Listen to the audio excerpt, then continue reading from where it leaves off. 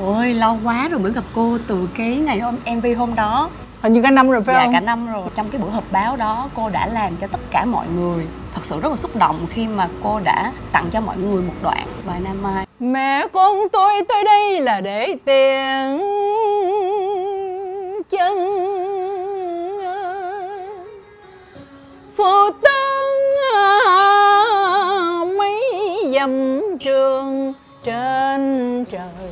Mây sâu còn vương là còn thấm đau trong căn trường Đó là một cái bài mà người vợ tiễn chồng đi về triều đình mà không biết là chuyện đó lành hay dữ của nghệ sĩ nhân dân Nguyễn Thành Châu, vợ tuồng gọi là Bình Tây Đại Nguyên soái.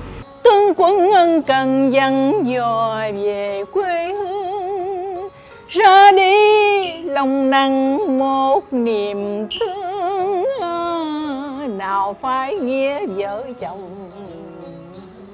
Mà xót xa tình non sông, xót tướng quân ra đi độc mã đơn hành về triều mong dân tội hôn quân à, lành ít mà dữ nhiều.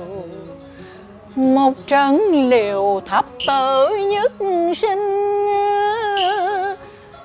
quân ra đi phương trời như cô nhàn có còn chăng cơ hội tái tương phùng xin hẹn không trở lại quê nhà mà chết sống cùng với nghĩa quân. Cô có thể ờ, chỉ cho con một đoạn trong bài Nam Mai đi. Con nhất định học hả? Con nhất định học. Khó lắm rồi nha. Cái chuyện này buồn lắm phải diễn y như là trong nội dung yêu cầu. Ơi con tóc mồ hôi. Mà cái đó là bước đầu thôi á là mình diễn nội tâm mình ca cái nội dung mình buồn. Tiếp tục là phải tập ra bộ cho trúng. Chứ thí dụ như thể trên trời mà mình chỉ đây hoặc là dưới đất mà mình chỉ trên này thì nó không cách gì mà có thể làm cho cái câu ca và đưa được một cái nội dung hoàn hảo đến cho khán giả. Vậy là cái lương khó không? Dạ. nhưng mà có cô thì con không có sợ. Giờ hai người mình buồn nha. Mẹ con tôi tới đây là để tiền chân.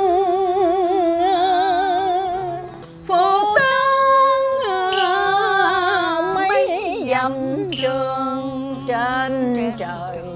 mây sâu còn vương là còn thấm đau trong căn trường cho nên là nếu con muốn trở thành một cái người nghệ sĩ cải lương nghĩa là con phải học rất đàng hoàng, rất đầy đủ và rất nghiêm túc. Còn nếu như mà con thích ca để cho mình biết, ca để chơi, ca vì mình thích, mình hứng khởi, thì cái đó người việt nam nào cũng làm được.